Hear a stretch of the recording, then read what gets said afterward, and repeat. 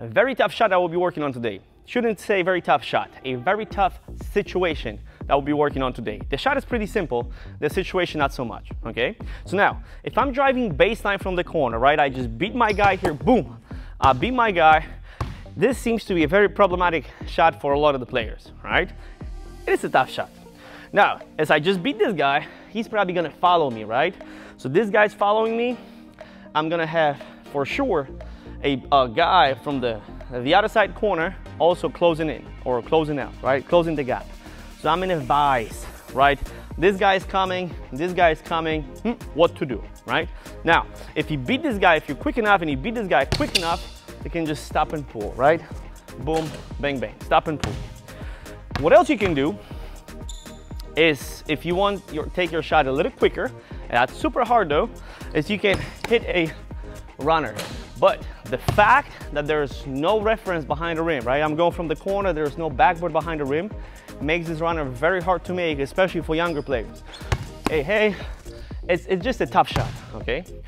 So what I want you to master, okay, one of the best finishing moves, finishing ways, as I'm driving baseline uh, from the corner, is the tight angle finish.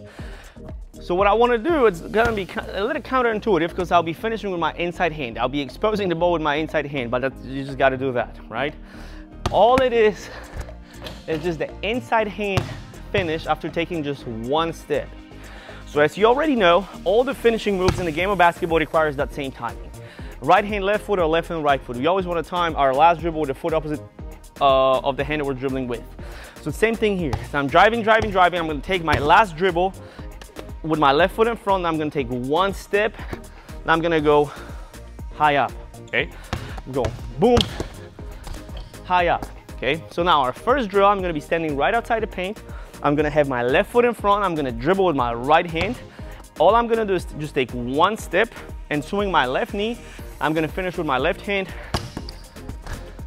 high off the glass. I'm taking just one step.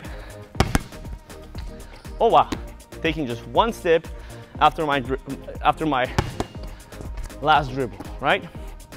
Let's go on this side now. So now if I'm driving baseline from this corner, go on my left hand, I'm gonna tie my left hand with the right foot. I take one step, I finish high of the glass, okay? Left and right foot,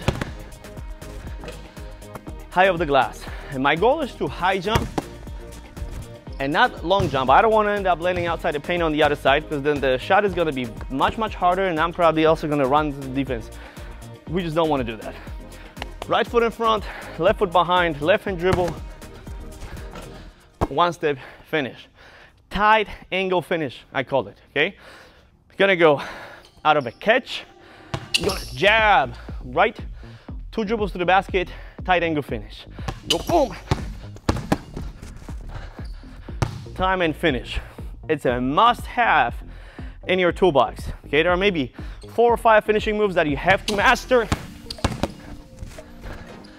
And this is definitely one of them. The tight angle finish. A short step, layup, going baseline from the corner, a must have in your toolbox. Patryk Janiszewski, Coach P Basketball. I'll see you next, uh, see you next time.